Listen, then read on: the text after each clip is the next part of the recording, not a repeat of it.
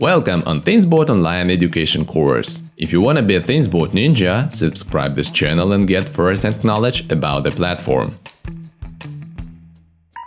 What is multi-tenancy? This literally means that single platform instance may run multiple application instances simultaneously. Each of the application instances is logically isolated from others and is called a separate tenant. All tenant data, like users, devices, assets and their telemetry, are not available to other tenants. Each tenant account is created by system administrator. Community Edition supports three levels of users. System Administrator, who creates tenant entities and their administrator users.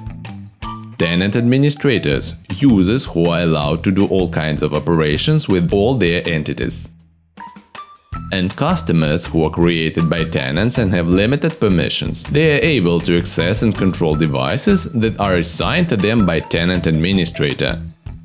In accordance to multi-tenancy and security model ThingsBoard Community Edition, one system may have numerous tenants who use ThingsBoard server for their particular needs. In practice, this may refer to this use case for example. As IoT solution developer, you have system administrator's account. Also, you have two companies, let's say building management enterprises, that distribute your IoT solution to their clients. For each company, you create a tenant account. These companies manage their own entities. More about supported entities you may discover in the next lesson. Once you create a tenant, you may specify various parameters like description, address and primary email. The only required field is a title. Now, in order to manipulate tenant data, you need to create tenant administrator. The only required field is an email, but you can optionally populate the first and last name. Now, the interesting part is an activation method. If you are using properly configured environment with the SMTP or Simply Mail server configured, you can send activation email. This will push the email to new tenant administrator with login info. It is the most secure way, but requires SMTP server setup.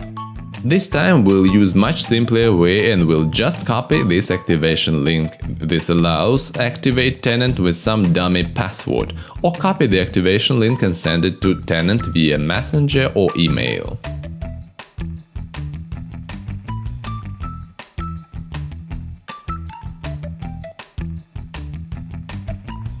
Very good. You made the first step towards ThingsBoard level up.